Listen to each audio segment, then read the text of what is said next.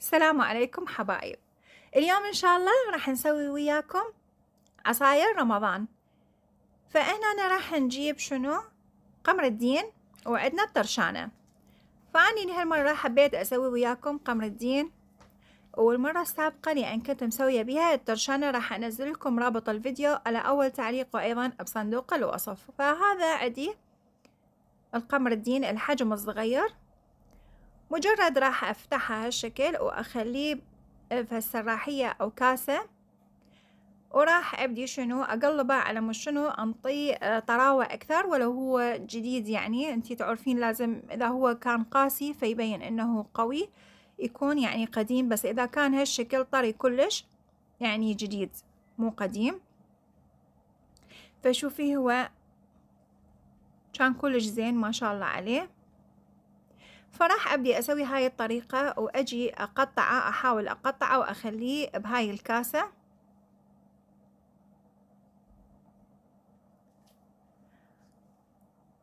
فشوف شلون هو طري.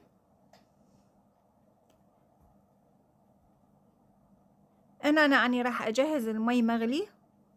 لازم يكون درجة الحرارة مالته تكون كلش عالية.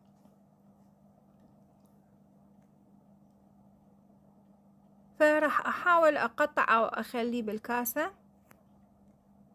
وإذا أنتي عندك الطرشانة أيضا نفس الشيء ممكن تخليها بالكاسة هالشكل بس مجرد تغسليها لأنه حتى هاي الجديدة مثل ما يقول بس تنطي أتربة. وإذا كانت يعني اليابسة هم ممكن تصير بس شنو لازم تتنقع قبل بوقت. على مود تنغسل كلش زين ما يبقى بيها أي أتربة. يعني حتى هاي الترشانة وقت اللي أسويها هم تطلع بيها أتربة. فشي طبيعي. هالشكل شوفي شلون راح أقطعه. وخلاص ها هي. شوفي كميتها كلش قليلة. بس إحنا راح نسوي سراحية وحدة. فهالشكل راح نجيب المي المغلي. ونديره عليه.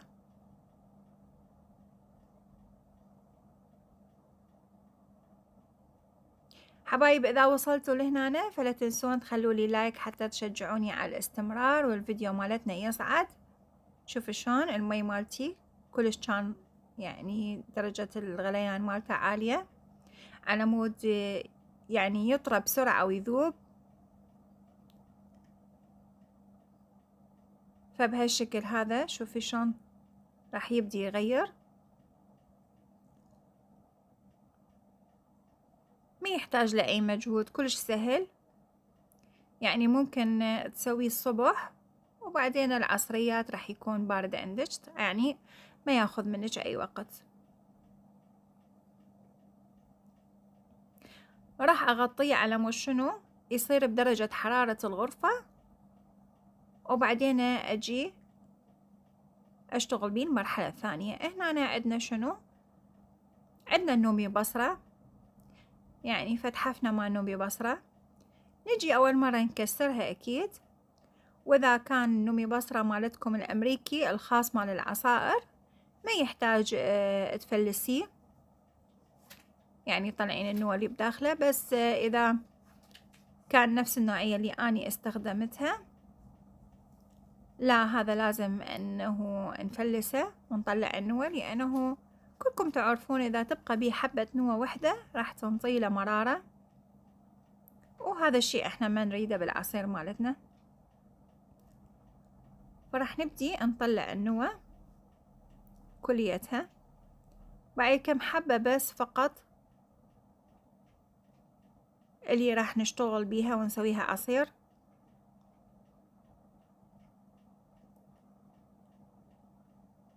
فشوفي شلون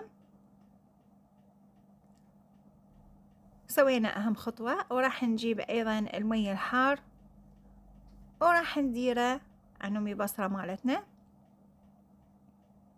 وبدأ يطلع اللون مالته بهالشكل هذا. راح أنتظره لحد ما يصير بدرجة حرارة الغرفة وبعدين أيضا أغطيه وثاني يوم الصبح يعني هذا يحتاج ليلة كاملة أن يتنقع. ثاني يوم الصبح أجي أكمل باقي الخطوات.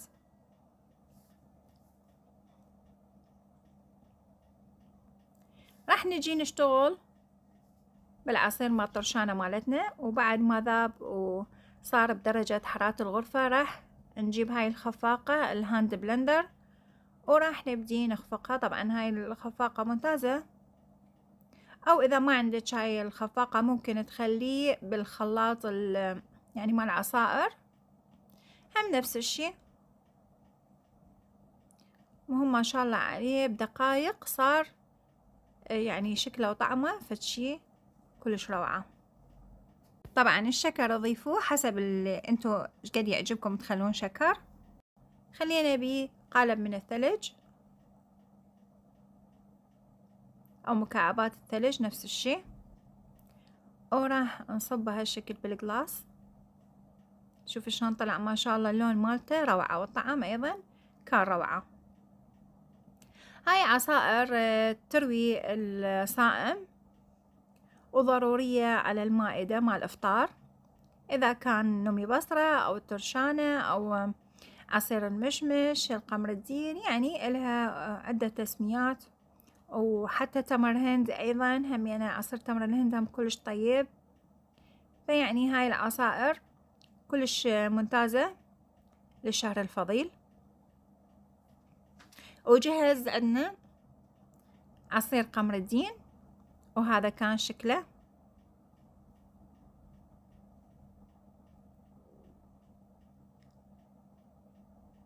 كلش طعمه طيب. جربوا وبعد كل واحد إلى طريقته كيفكم انتو وراح نبلش هنا بشنو؟ عصير النومي بصرة مالتنا.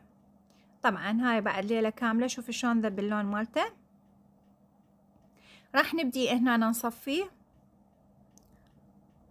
ضروري نصفيه وأيضا هنا راح نخلي عليه الشكر. الكمية اللي انتي حابة إنه تستعمليها يعني كمية قليلة مو هواية. وخلاص أصبح جاهز. بس اللي بقى عندي ما نومي بصرة إيش راح أسوي به البثل. راح أخليه بالقوري وأخدره واسويه شاي للعصرية. شاي النومي بصرة يعني ما راح أذبه راح أستفاد من عنده مرة ثانية. وإذا ما حابة تسوي شاي نومي بصرة ممكن إن تنقعيه مرة ثانية بمي مغلي مي حار. وراح تاخذين سراحية ثانية. من شنو؟ من عصير النومي بصرة. أني هالشكل أسوي هاي طريقتي. حتى ما أذب شي أستفاد من عنده أكبر شي أقدر أكثر شي أقدر أستفاد من عنده.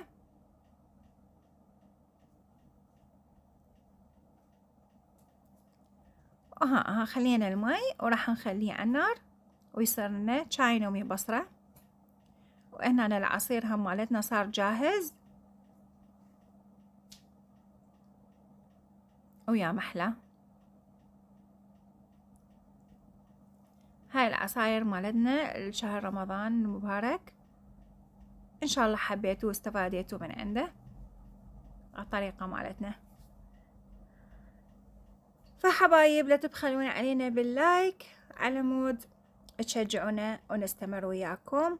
وربي يتقبل منا ومنكم الطاعة ومع ألف سلامة.